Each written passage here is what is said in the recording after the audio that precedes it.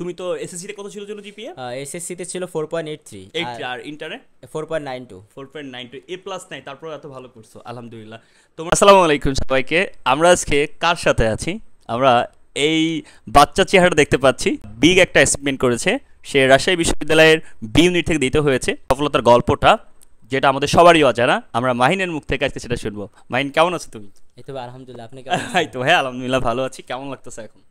খুশি লাগতেছে অনেক একটা পজিশন কত আসে রাজশাহীতে? রাজশাহী বিশ্ববিদ্যালয় সেকেন্ড আসছে। সেকেন্ড আসছে। আর তুমি বলছো জাহাঙ্গীরনগরে মনে হয় আসছে হ্যাঁ জাহাঙ্গীরনগরে সি ইউনিটে ফোর্থ আসছে আর ইউ ইউনিটে আসছে হচ্ছে থার্টিন তেরো আলহামদুলিল্লাহ। আর চবিতে পরীক্ষা কেমন হয়েছে? চবিতেও ভালো হয়েছে আর নব্বইয়ের উপরে মার্ক থাকবে আশা করি। টার্গেট কি?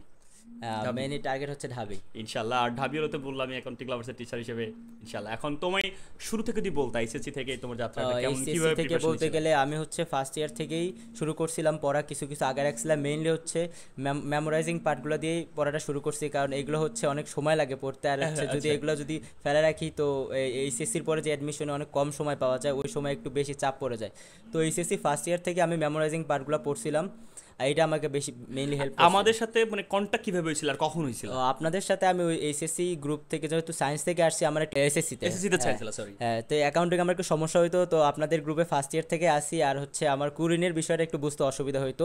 এই কুরিনের জিনিসটা হচ্ছে আমি কুইনের ক্লাস পড়েছে বাংকার পদ্ধতি হ্যাঁ। তিনটা মেডিসিন তো অনেক জায়গায় ভিডিও দেখছিলাম মানে বুঝতে পারিনি। তারপরে ইউটিউবে হচ্ছে ভিডিওটা আপনারটা দেখলাম ওইটা আমার অনেক হেল্প করছে কুরিনের বিষয়টা। ওয়াও নাইস এই সফলতার পিছনে তোমার সব থেকে বেশি তোমার সবসময় মোটিভেশন হিসেবে কে কাজ করছে? মোটিভেশন পরিবারের মধ্যে?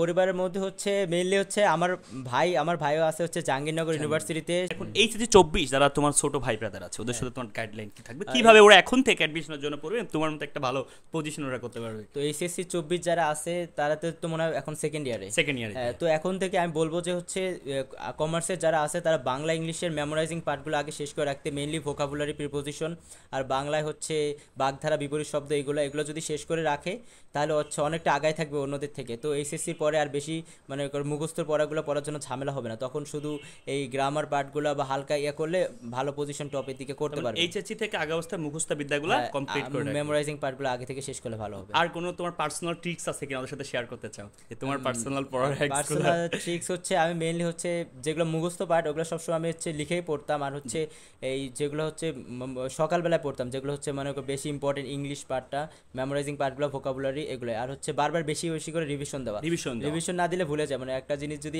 অনেক ভালো মতো আজকে শেষ করি অনেক পরিশ্রম করে যদি এটা যদি বেশি দিন না দেখি তাহলে এটা হচ্ছে ভুলে যাওয়ার সম্ভাবনা থাকে। তাই বেশি বেশি রিভিশন দেওয়া আর হচ্ছে নোট করে পড়া নোট করে পড়া। হ্যাঁ। আর তোমাদের এতটুকু যদি বলি যে ভবিষ্যতে তোমাকে আমরা অ্যাকাউন্টিং টিচার হিসেবে দেখতে চাই যারা তোমাকে পুরো বাংলাদেশ চিনবে এবং হচ্ছে তোমার মেধাটা সবার মধ্যে সার্ভ করবা। তুমি যেভাবে যে টেকনিক্যালি পড়ে ভালো করছ এটা কি সম্ভব কিনা বা তোমার ইচ্ছা আছে হ্যাঁ ইনশাআল্লাহ আমার ইচ্ছা আছে অ্যাকাউন্টিং লাভার্স থেকে বা যে কোনো প্ল্যাটফর্ম থেকে অনলাইনে তোমার একটা ভালো হ্যাঁ, পড়ানোর ইচ্ছা আছে যেখান থেকে তুমি মানুষকে সার্ভ করবে এবং তোমার মেধাটা মানুষের মধ্যে বিলিয়ে দিবে ইনশাআল্লাহ।